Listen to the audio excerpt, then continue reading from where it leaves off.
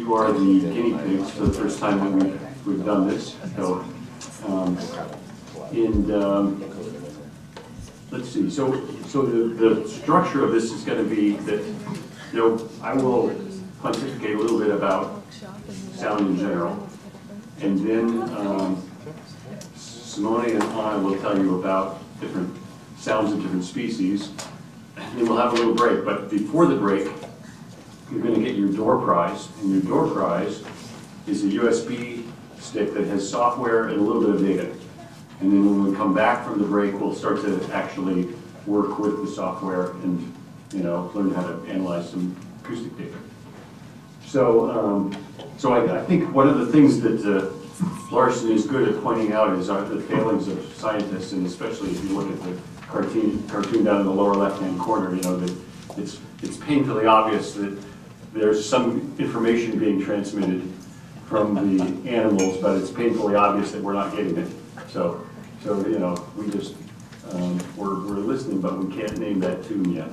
So, So, um, so here's this sort of sequence, just to kind of dive into this from the view of somebody who's analyzing uh, sound data. And, and it starts out up here with some sound source, and it's kind of a funny shaped black and white sound source in this case, from the perspective of a physicist. But, but um, so this object makes sound, and then the sound propagates through some kind of environment. It can be um, kind of complicated, but it goes from the, the, the source to your receiver. And then there are a whole series of steps here, and we want to follow this sort of chain of progression of analyzing the data around to where, you know, there's a happy graduate student that, that produces a publication. Right? And so, but, but the, you know, to, to get from kind of here to here is, is you know, our, our goal. Uh, this is like a game, right? You're, you're, you know, following the the path to, to success. So, um, so I'm gonna try to sort of go through each of these steps and, and, um, anybody who's been in the field and recorded acoustic data, you know, some of this is, is obvious and some of it isn't. So, so the first bit is that we have to have some kind of sensor, a hydrophone, that's gonna transduct the, the acoustic energy into a voltage. In other words, it, it takes the sound that's in the ocean and turns it into a, a voltage that then our electronics can convert into a count, actual, you know, numbers that are then gonna go into a computer. And then, you know, maybe right here is the boundary between what happens out in the field and what happens in the lab. That we organize these bits somehow in our data storage system, you know, maybe put them into files and, and the, the format that we use for audio files is called X-Wave.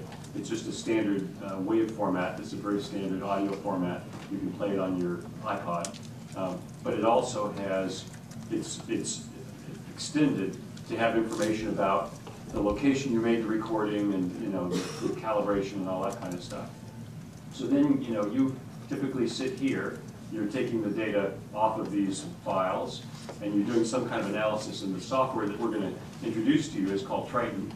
And the godfather of Triton, Sean Wiggins, um, chose not to come today, but we'll, we'll, maybe in the future, you might interact with him as you, as you find enhancements to the software.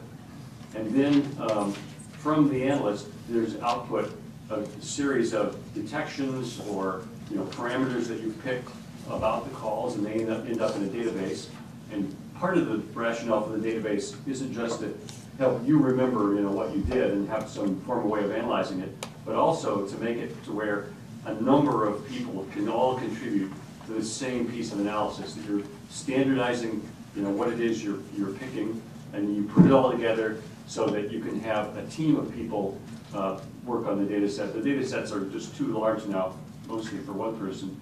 And then a lightning bolt strikes you to give you an idea of what it all means, and you write it up, and, and you know, your sponsor is happy, and you're happy, and, and life goes on. So, um, so let's look now at um, this, this thing that we call the decibel. And the bel part of decibel comes from Alexander Graham, you know, the guy that invented the, the telephone and other things. And it's a, it's, you know, basically by powers of 10, these bels. And, and all acousticians know that we have a love-hate relationship with the decibel. The decibel is important because the way we perceive sound is, is in these orders of magnitude. In other words, if, if sound goes up by a factor of ten, we kind of perceive it linearly going up. You know, in other words, so sound going up by hundred is kind of, you know, two steps up from sound at, at one.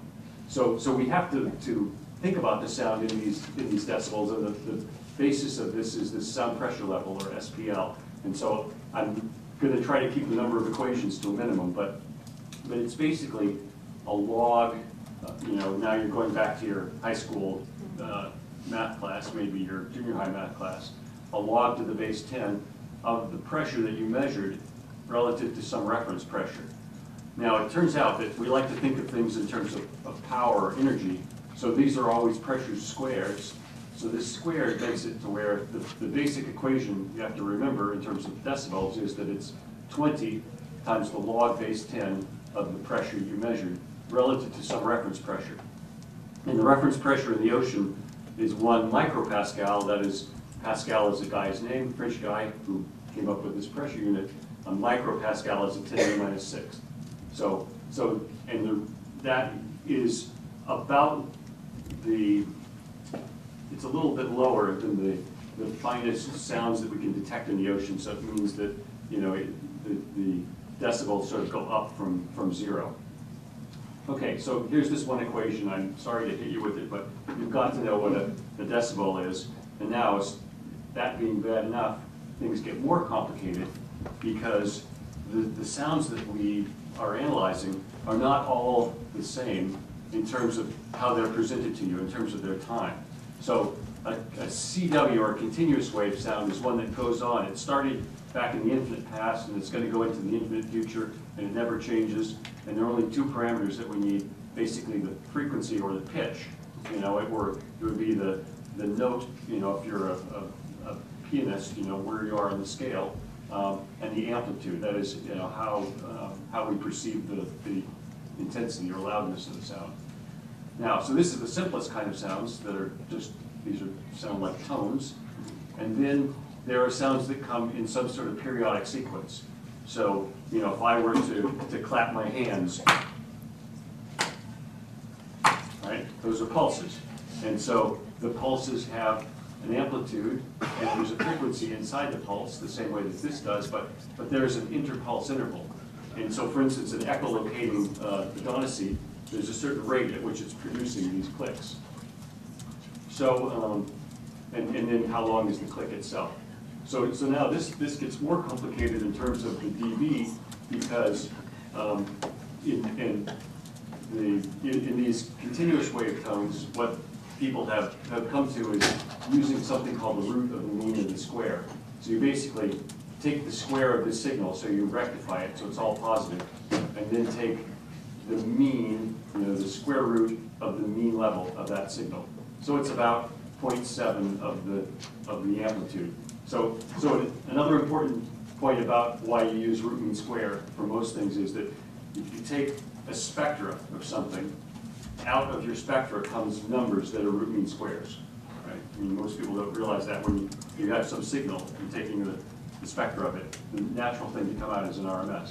Well, RMS is really pretty crappy for these pulse sounds, because it all depends on how much you're averaging. You can say, I want just the piece where there is sound, or I'm gonna average in a longer piece, and there are entire papers where people do tricks, like people who wanna characterize the level of an air gun. You can just use the place where the air gun actually exists and get one number, or you can say, oh, I'm gonna average over, you know, several seconds, and that artificially diminish the level that I'm reporting for my air gun. So it's, it's tricky. So, so at any rate, um, peak to peak is a very common way of, of describing these guys, because you're basically picking kind of the highest amplitude, and in some largish window, you just say, what was the highest amplitude sound that we could find? And so, but if you take zero to peak, then that's half of peak to peak, so you get minus six dBs out of that. Or you could take the RMS, is about 0.7 times zero to peak, so there's another three dBs. So how you report the dBs, you get different levels. So an RMS level is something like nine dBs lower than a, than a uh, peak to peak level. Okay, now it just gets worse. It's, it's gonna get better, but I, I have to say this stuff just because, um, so, so now, if I've, if I've recorded a sound, there's a certain location, so in other words, imagine that, um, you know, without the microphone, imagine I'm here and I'm projecting my voice out into the room. And each one of you is a receiver that's listening to my voice. You're each gonna experience it at a different amplitude because you're different distances away from me. So if you wanna characterize my voice, you have to have a standard in terms of the distance. And so, uh, what people have come to is to say, well, I'm gonna describe the source as if I were standing one meter away. It's, it's a point source and I'm only one meter away, right? So, so I'm gonna adjust the received level for each of you, you know, we're gonna have to figure out what the propagation was to come to where you're sitting one meter away from my mouth.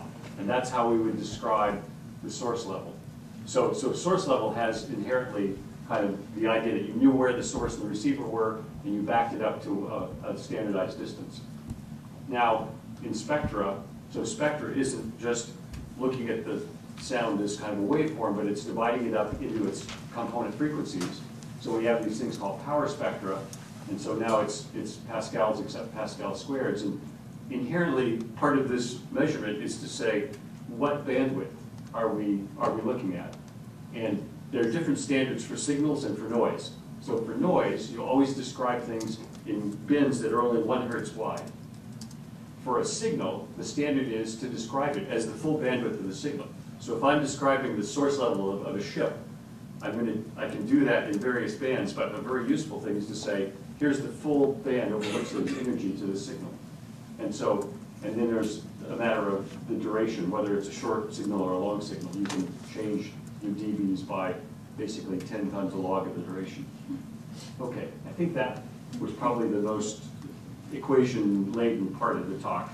And, and, you know, people who even worked in acoustics for a long time can screw up what a dB is, because they're, they're such different beasts. But it's all a matter of what your, your goal is. Do you want to describe what you heard? Do you want to describe the sound at the source? Do you consider the, the sound to be, you know, broadband, you know, noise from everything or just from this particular source? So it's, it's a matter of your goal. But here's an example of what uh, Megan McKenna did in describing the source levels of ships that she recorded in the Santa Barbara Channel.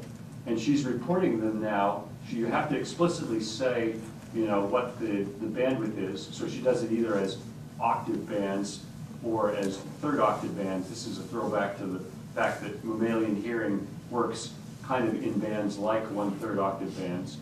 She recorded the ships at about three kilometers range. She had to back it up to a one meter range. So she's reporting her units are source level dB, RE, micropascal squared at one meter. And so, so now here's her sound levels for a container ship, sort of almost 180 dBs. Here's a bulk carrier. It's very peaky here at a certain frequency around 100 hertz, 200 hertz, but maybe slightly higher level. Here's oil tankers. And then you can see how the look, the character of it looks different depending on, uh, you know, if you're in octave bands, there's more energy in that band, so the number is higher than it is down here in third octave bands.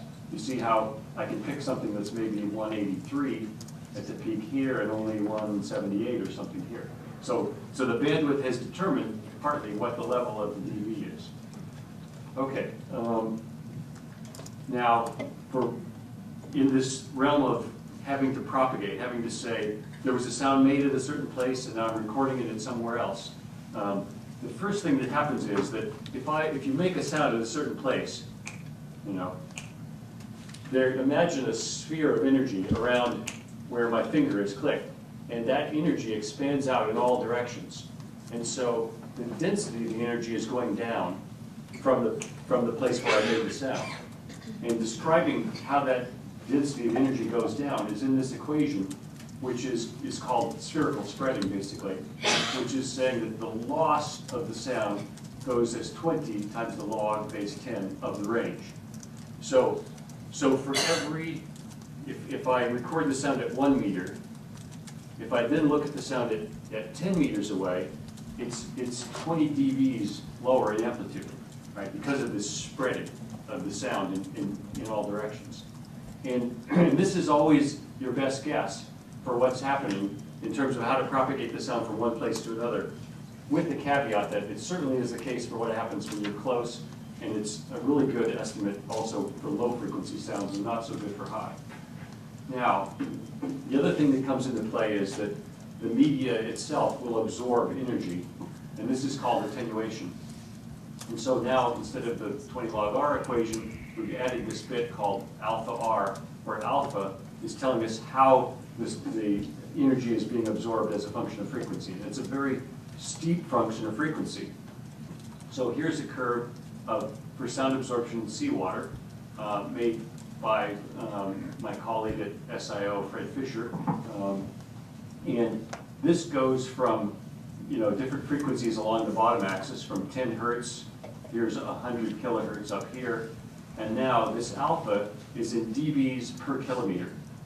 So, so let's pick a nice number, let's say down here at 100 hertz. We're getting 10 to the minus 3, so that's a thousandth of a dB per kilometer. So you have to go a thousand kilometers to absorb even one dB, which is not much. So, so the answer here is, at low frequencies, there's almost no attenuation. Everything, there is geometrical spreading, but there's no attenuation. Now, let's go to 100 kilohertz. Here, we go way up this curve, all the way up here, to let's say maybe it's about 30 dBs per kilometer. So if I go three kilometers, there's 90 dBs. That's huge. So the signals at 100 kilohertz attenuate and don't, they just can't propagate very far. Signals at 100 hertz can go forever. They can cross the ocean. Say, John, Yes. so what happens when you take an ocean that has particles in it like plankton? How do, how do particles alter the frequency dependence of the So alpha, of the they alpha are, curve? they are scatterers. And the most efficient scattering is when the wavelength is approximately matched to the scale of the object that's doing the scattering. So for your critters, little guys like this, let's say, you know, a- a centimeter, then there are frequencies kind of uh, up in here, you know, tens of kilohertz or whatever. Well, 15 kilohertz would be 10 centimeters. So 20, 30 kilohertz or whatever. There's a lot of scattering, and that is an additional factor of diminishing the sound that you see. Now, you, of course, use that as a backscatter to detect the presence of the critters. So you like the fact that they scatter, right? But if you're looking at it as way as just propagating energy through the media, it's dissipating it, you know, by, by scattering. Right, so, so the three things we talked about now, geometrical spreading, intrinsic absorption, attenuation, and scattering. Right? So I, I'm trying to keep this as simple as possible, but, uh, okay, so here's a curve that shows how much attenuation you expect, and each of these blue curves is a different frequency, and as a function of range. And so a straight line, kind of the straight sort of slopey line, would be where everything is spreading and there's no attenuation. And so at 300 hertz, that's more or less the case. As far as you want to go, this line is more or less straight. But at 100 kilohertz, you can see the line turns down pretty rapidly, and if you're going much more than a kilometer, there's a lot of absorption. Right? So this tells you why uh, critters that make sound at 100 kilohertz, like you know porpoises, they're not echolocating on things that are very far away. Whereas a blue whale that's, that's singing at you know 15 hertz or whatever, that can propagate forever. So, um, okay, and then the other bit is when the sound interacts with the boundaries of the ocean, like under the ice in the Arctic, or in shallow water bouncing against the surface and the bottom, then there's an additional component of, of, of, you know, multiple paths to go from the source to the receiver, but also opportunities to absorb the energy. Okay, and then there's a lot of work the Navy has put into coming up with computer models to propagate sound. And so these are three different computer codes, but they're really pretty similar in their outputs. Imagine there's a source right here, um, and then this, there's a, a wedge of, of, of uh, the sediment coming up, and here's the sea surface, and the sound is basically bouncing between the bottom and the surface. And so you get these kind of bright spots and dark spots. as you get constructive and destructive interference. But, but these, these codes exist and even, you know, they're, they're relatively simple to, to run. I was gonna say even a biologist can run them. I- I'm not. So, uh, Okay, so now let's switch to, to look at hydrophones. And so, um, here's, this bit is just a blow up of the hydrophone that we have in the HARPs. And, um, and so there are the sensors themselves, these ceramic elements, they're- they literally are ceramics, like, it's like a pot. You know, someone's taken clay and fired a pot, and it's just, it's a particular kind of pot. It's, it's made up of lead zircon titanate is a powder that you fire like a pot. And then you, um, you put electrical connections on it. And so it's, it's a piezoelectric, which means that if you squeeze it and deform it, then it, a voltage appears. Or conversely, if you apply a voltage, it will deform to make a sound. Now, um, right away, the, the the voltages that these put out are very small, microvolt kind of thing at normal sound levels. And so right away, we want to have an amplifier to boost the electrical signal, hopefully not adding, you know, very much noise, and then send that on to some kind of uh, thing that's going to actually write down the, the voltage. So, so here's one of the hydrophones we've put together. It's in oil because the properties of oil are much like water, so the sound can propagate through the oil to, to reach the sensor, but the oil is non-conducting, so it protects the electronics. Oh, and, and you'll notice that there's kind of a spherical thing here. That's actually our high-frequency transducer. And then there's a bigger ring of, of transducers here that we use for low frequency. Now, because in the HARP anyway, we're trying to go over extremely broad band, we have to have these two sensors to cover the full bandwidth. But now, from the manufacturer, the International Transducer Corporation in Santa Barbara, um, they've, they've come up with a calibration which tells us the sensitivity of the hydrophone versus frequency. And so it's a slightly wiggly curve, but it's approximately minus 200 dB RE volt per micropascal. So in other words, for every micropascal, which is an exceedingly small pressure that's applied to the surface of the transducer, it puts out minus 200 dB volt, which is 10 to the minus 10 volts, a small number, you know, 0.1 uh, nanovolt. So, so at any rate, here's our calibration, It comes from the, the manufacturer. Now, you can see what happens is it's kind of flat, and then it peaks here at 80, 90 kilohertz, and then it kind of goes away. And so this transducer is spec'd to work to about 100 kilohertz, right, and then not um, above that. For the low frequency, um, we put in, we have six of these guys, these AQ1s, and you can see they get kind of flaky here above about 10 kilohertz, and, and they really go away above about 20. We use them for a band um, down below about 2 kilohertz, and we put a whole bunch of them together to get a, a beefier signal. So, so the next bit is we have to have an amplifier, and this is our, our preamp where we just look at a voltage in and a voltage out, and you say what the gain of the amplifier is, that's, that's how much boost does it give the signal. And in this case, it's about 50 dBs of boost for the low frequency bit, and, and a kind of similar thing for the high frequency bit. So you add that to the transducer sensitivity, and out comes a curve that tells you that if I apply a pressure to the hydrophone, what voltage will come out. And so now you can see this is about minus 155 dB RE uh, volt per micropascal. So now the next bit is, let's, let's do a little calculation. And so here's our friend Shamu, and um, he has just put out a, a signal at 220 dB RE micropascal at one meter, right? We had our head a meter away from him, we hear this 220 dB. Now, our receiver is actually a kilometer away. So we take our prop loss curve here, and I'm gonna pick off the point at one kilometer, and I know that it's pretty much right on 60 dB, because at, at, oh, and by the way, he's doing this at, at uh, 10 kilohertz, let's say. So the 10 kilohertz curve more or less follows the geometric spreading up to this point. So I now have minus 60 dBs.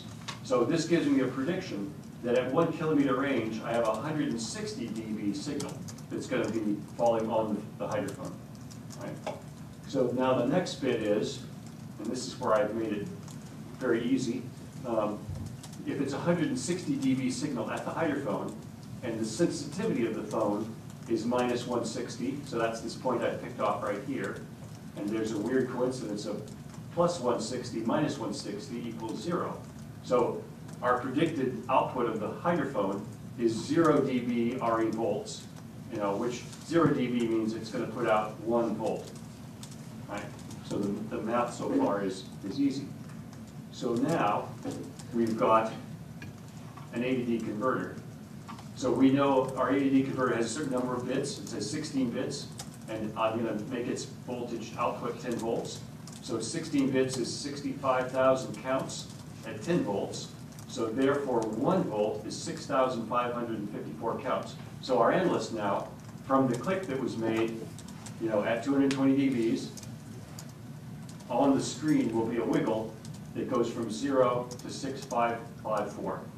So, now why is that useful? Aha, now going backwards here, having done this, the analyst who sees a click at six five five four counts output can then say, aha, I know, having measured that it was a kilometer away, that Shamu just put out a click at two hundred and twenty dBs. In other words, I've just gone backwards along this chain to tell you what the source level was of the, of the, the sound. Do you know it was a kilometer away?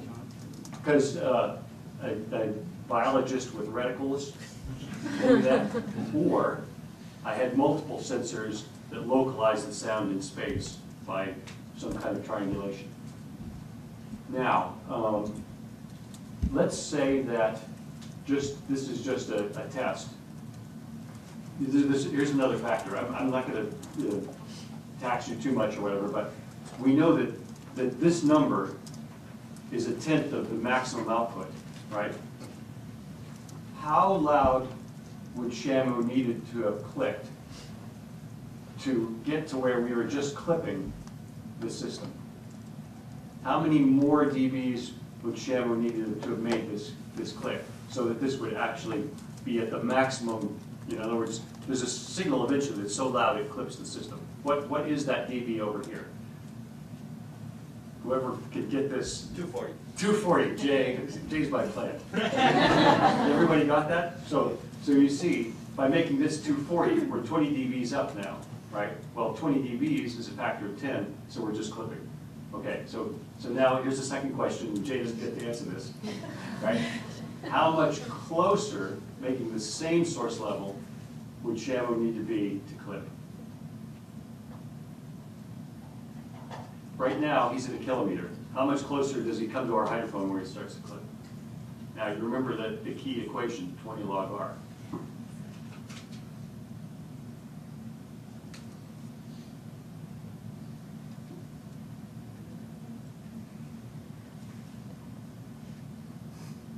Factor of ten, he's at a kilometer, what's the factor of ten closer? Hundred meters. So at hundred meters, the receive level, the source level would go up, but the receive level would be twenty dBs higher.